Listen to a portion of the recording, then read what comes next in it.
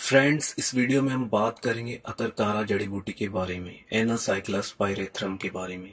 इसके इस्तेमाल करने का क्या तरीका है, ये कहाँ से मिलता है, और इसके क्या साइड इफेक्ट्स हो सकते हैं, इन सब बातों के बारे में हम बात करेंगे।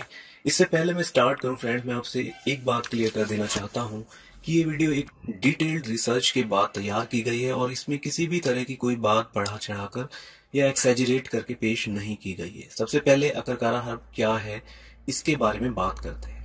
अकरकारा या anacyclus pyrethrum plant family plant family asteraceae से बिलोंग करता है और ये एक सदाबहार फ्लावरिंग प्लांट है। यानी ये पौधा ऐसा नहीं होता है कि एक साल बाद खत्म हो गया, फिर इसके बीजों से दोबारा पैदा होता है। ये सदाबहार होता है। अगर कहीं हो गया तो ये मेंटेन रहता है। और इस पर फूल भी आते हैं। फ्रेंड्स इस पौधे की जड़, यानी कि रूट को दवा मेडिसिन के तौर पर इस्तेमाल किया जाता है। ये पौधा नॉर्थ अफ्रीका जैसे कि मोरक्को, अरेबिक रीजन्स और हिमालयन रीजन में पाया जाता है। तो क्लियर है कि ये मेनली गर्म इलाकों में पाया जाता है, जिनका लेटीट्यूड जो होता है, वो 30 डिग्री नॉर्थ के अराउंड होता है। अगर ये जड़ी बूटी आपके एरिया में पैदा नहीं होती तो बिल्कुल परेशान होने की ज़रूरत नहीं है, क्योंकि अब दुनिया की कोई भी जड़ी बूटी सभी देशों में एक्सपोर्ट करके बेची जाती है और आप उनको ऑनलाइन मंगवा सकते हैं। अब बात करते हैं अकरकारा के फायदों के बारे में। फ्रेंड्स अकरकारा के मेन बेनिफिट्स कुछ इस तरह से हैं। ये एक मैन टॉनिक है और इरेक्टाइल डिस्फंक्शन लिबिडो एनहेंसमेंट में बहुत अच्छा काम करते हैं क्योंकि ये टेस्टोस्टेरोन लेवल को बढ़ाता है। तो जो मेन प्रॉब्लम्स होती हैं सेक्सुअल वीकनेस से रिलेटेड प्रॉब्लम्स होती हैं, उनमें बहुत इफ़ेक्टिव पाया गया है। अकरकारा टेस्टोस्टेरोन लेवल को इंक्रीज करता है और क्लिनिकल ट्रायल्स में पाया गया है कि अकरकारा मसल मास गेन करने में मदद करता है। अकरकारा बॉडी में एनाबॉलिक एक्टिविटीज़ इंक्रीज करता है तो ज़ाहिर है दुबले पतले लड़कों में ये वेट गेन करने में काफ़ी मददगार साबित हो सकता है।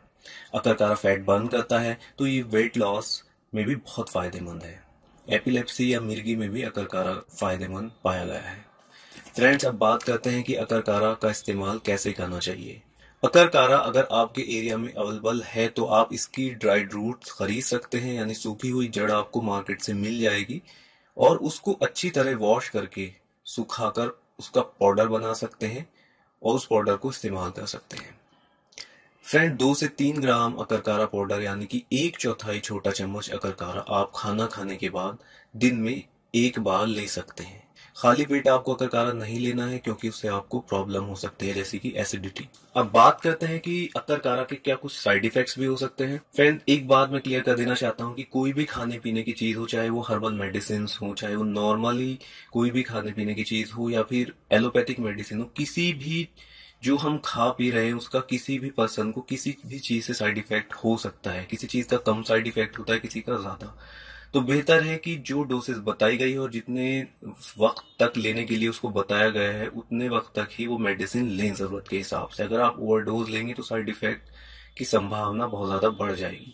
तो फ्रेंड अकरकारा के भी कुछ साइड इफेक्ट्स हैं। अगर ओवरडोज इसकी ली जाए तो वॉमिटिंग चक्कर आना ड्रॉप्स इस तरह के side effect acidity side effects के पाए गए हैं।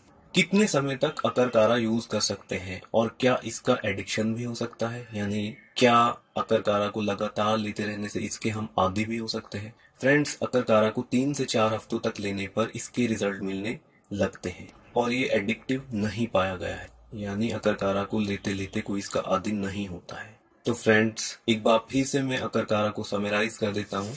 अकरकारा या एनासाइक्लस पायरेथ्रम एक पेरिनियल प्लांट है, फ्लावरिंग प्लांट है, जिसकी जड़ को पाउडर के तौर पर इस्तेमाल कर सकते हैं आप, या काढ़ा भी बना सकते हैं उसका।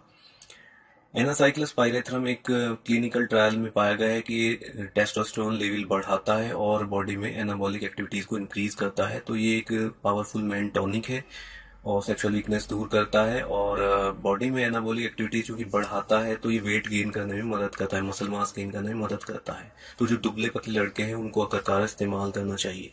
साथ ही अकरकारा को एपिलेप्सी में भी फ़ायदेमंद माना गया है। फ्रेंड अकरकारा एक से तीन ग्राम लिया जा सकता है रोज़ाना, और याद रहे कि इसको खाली पेट नहीं लेना है, खाना खाने के बाद ही लेना है। लगभग दो से तीन हफ़्ते तक अकरकारा लेते रहने से आपको इसका रिज़ल्ट मिलना शुरू हो जाएगा। अकरकारा आप रेगुलर यूज़ कर सकते हैं, इसका आप आदि नहीं होंगे बट फिर भी मैं रिकमेंड करूँगा कि जब तक आपको ज़रूरत हो, तब तक ही इसको लें, किसी भी जड़ी बूटी को। उसके बाद फिर आपको बीच में गैप लेना चाहिए। तो फ्रेंड्स इस वीडियो में इतना ही। हमारी नेक्स्ट वीडियो जल्दी आएगी और उसमें हम एक नई जड़ी बूटी या नए हर्बल फार्मूला के बारे में बताएँगे। और याद रहे कि हमारे चैनल पर जो भी इन्फॉर्मेशन होती है, वो पूरी तरह से ऑथेंटिक होती है और ऑथेंटिक सोर्सेज से ये इन्फॉर्मेशन ली जाती है। तो thanks for watching this video फिर से एक वीडियो के साथ आएँगे। तब तक के लिए गुड बाय